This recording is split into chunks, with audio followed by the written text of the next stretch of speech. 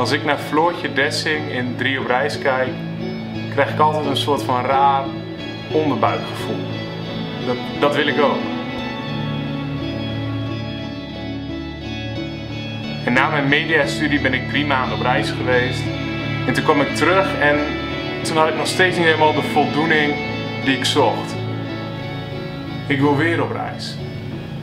Ik wil mooie verhalen vertellen, duiken in de lokale bevolking, maar vooral heel veel vette dingen doen.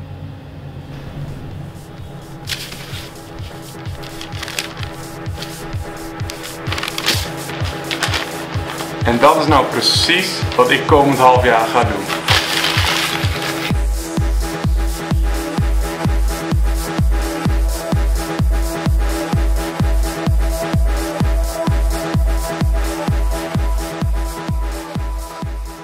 Movie, I make movie? you, ah, in the movies? you, you movie. Ja.